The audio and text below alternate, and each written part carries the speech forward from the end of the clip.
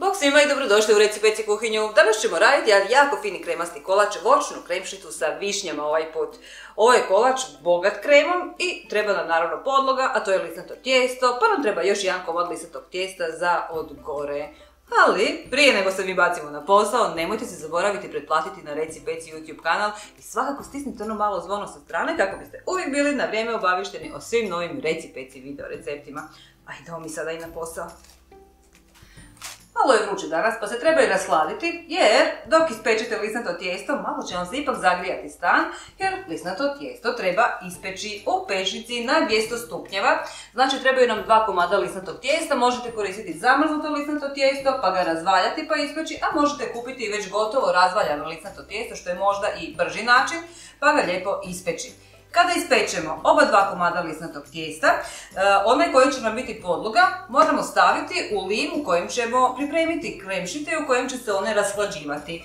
I sad, ako vam se slučajno dogodi da vam je ta donja kora malo veća od lima u kojem ćete to raditi, e onda je morate malo iskrojiti i prilagoditi tome limu. E, idemo mislim za početak napraviti to kako bi imala spremnu podlogu za kremu koja će nam uskoro doći.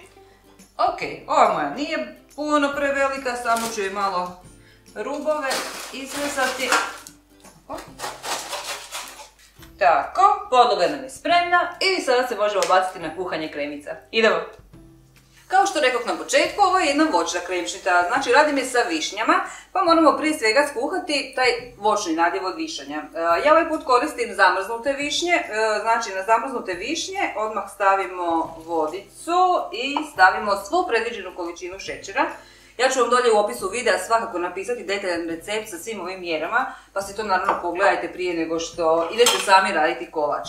Znači, šećer, voda, višnje mogu biti zamrznute, mogu biti višnje iz kompota, a mogu biti i potpuno svježe višnje koje ste netom e, okalali i izvadili koštice.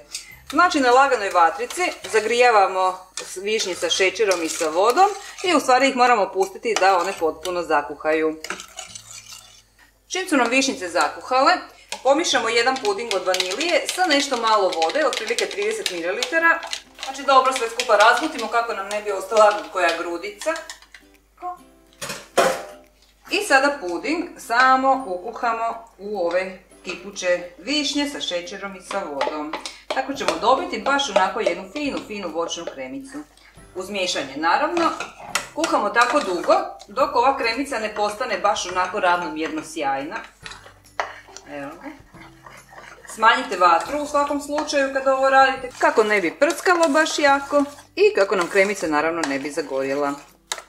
Kremica od višanja nam je kuhana i sada ćemo odmah ovako još vrelom kremom preliti ovu koru koja nam je podloga. S obzirom da je ovo voćna krema na bazi pudinga, ona će se jako brzo zgusnuti i zato je odmah, dok je još ovako vruća i lako maziva, moramo razmazati po cijeloj površini ove podloge. I sada kada smo to lijepo poravnali, ostavimo ovo da se ovako stisne na sobnoj temperaturi. Znači sljedeći korak nam je kuhane prave one kreme za kremšite. Idemo na to.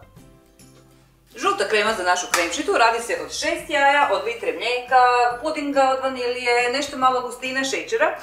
Prije nego što sve to skupa sklopimo, idemo mi staviti u posudu koji će se krema kuhati, mlijeko, da se ono polako zagrijava. Znači neću staviti kuhati cijelu litru mlijeka, ostavit ću otprilike Evo ga, 200 ml, jer tih 200 ml ćemo pomiješati sada sa žumanjcima i sa svim ostalim sastojcima. E, znači u prvom koraku, odmah nakon što smo stavili mlijeko, idemo razvojiti žumanjke od bilanjaka. Znači šest jaja ukupno. Tako. Sada ćemo e, bilanjke umutiti u čvrsti snijeg, a žumanjke ćemo pomiješati sa ostalim sastojcima.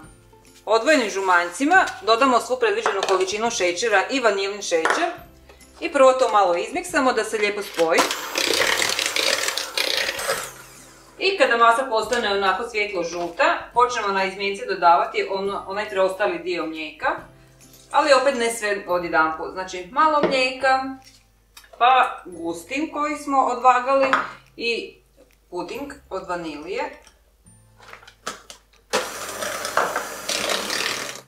I na kraju dodamo sve.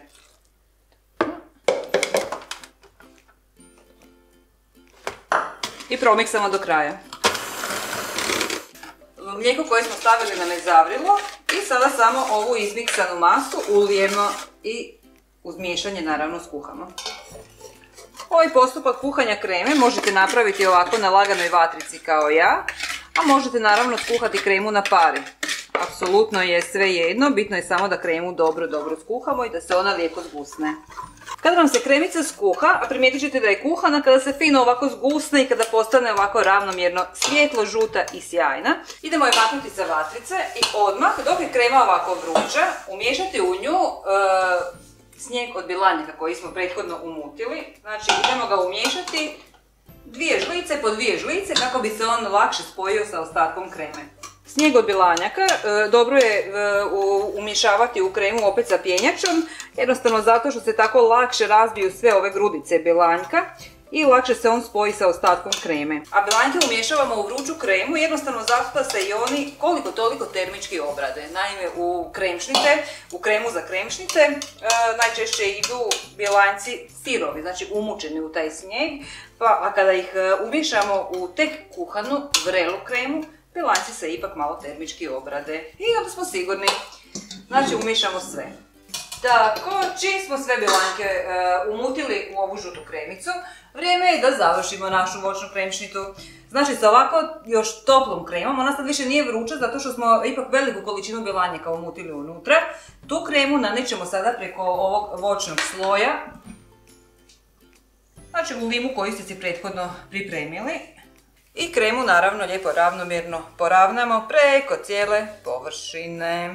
Primijetili ste možda da je ovo prilično onako rijetka krema u ovom trenutku. E, ovo su kremšnite bez želatine. Znači, meni su nekako najdraže takve kremšnite, znači ipak unutra ima i gustina i pudinga e, i oni će se e, stisnuti stajanjem i hlađenjem. Ali ovo vam nikad neće biti ona baš onako čvrsta, čvrsta krema kao kad recimo napravite kremu sa želatinom, tako da svakako imajte to na umu. Ona bude dovoljno čvrsta, ali ne prečvrsta.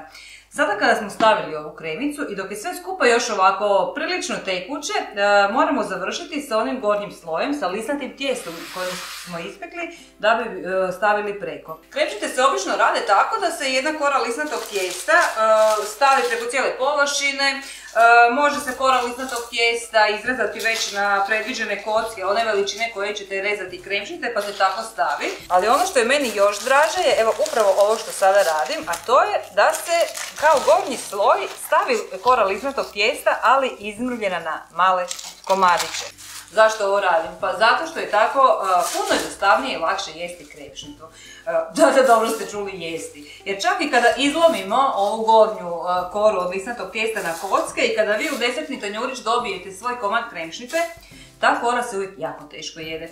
Znači, ja to pamtim još i od djetinjstva, znači uvijek smo u biti jeli kremšnitu na nekako na tri dijela. Prvo smo pomaknuli taj poklopac, nazovimo ga tako, pa smo ga pojeli posebno, a onda smo pojeli nadjev, e i onda smo još posebno jeli onu donju koru. A kad napravimo ovo i kada ovako sve lijepo izmrvimo i kada sa ovako izmrvljenom korom posipamo ovaj gornji dio, tada ćete svoj komad kremšnite koji dobijete na desetnom tanjuriću bez problema moći jesti kroz sve njene fine slojeve. Zato što vam ništa neće smetati, kora se neće lomiti, neće se odvajati, a opet zadržat će baš onu svoju specifičnu hrskavost koju lisnato tijesto ima. Znači samo obilno posipati preko svega cijelu ovu jednu izmrvljenu koru lisnatog tijesta.